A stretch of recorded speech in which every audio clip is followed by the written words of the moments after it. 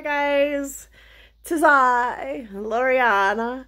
I just thought that I would pop in because I was, you know, like doom scrolling Facebook and I came across this little tidbit off of Compton Files that uh, mentioned how the Hustler store, and if you don't know what a Hustler store is, allow me to enlighten you. It's kind of just a cute little I'd say a modest kind of little sex store. They sell stripper clothes and, you know, the hooker heels and a little bit of BDSM things, a couple of dildos, some movies. It's a little, it's a little classy. It's definitely 18 and over, but, you know, whether you're working the pole or working your sugar daddy, it's a, it's a good deal.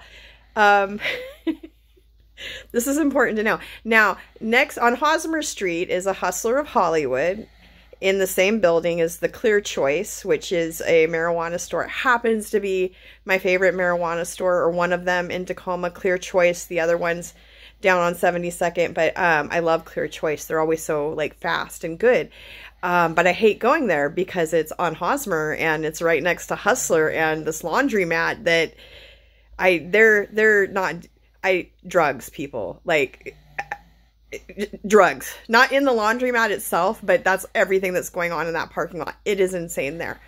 But if you go early enough to get your little your little green, you're you're pretty safe. You know, the, the craziness isn't going on. But anyway, I digress. I'm I'm carrying on too long. So as I'm doom scrolling Facebook under Compton files, it says that reported a uh, robbery, armed robbery at Hustler. A man came in and stole clothing um, which was probably like assless chaps or something. I don't know. So he came in and he stole clothing. And when he was approached by the employees, he pulled out a grenade. A grenade.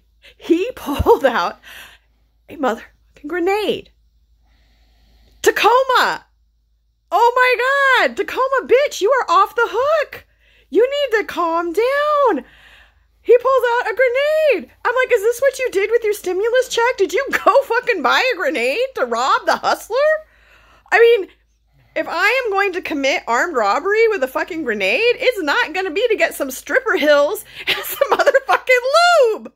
I mean, come on. Like at least like rob the pot store, get something of value, get your laundry done. I you just I mean what did he have? That's what I want to know.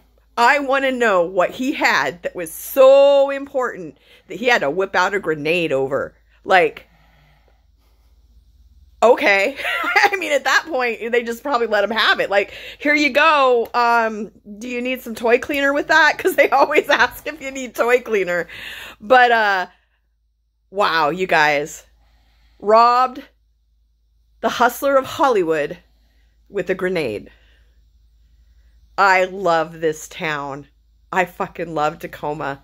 Say whatever you want, but there is not one boring moment out here. All right, that's all I got. Love you. Miss you and goodbye.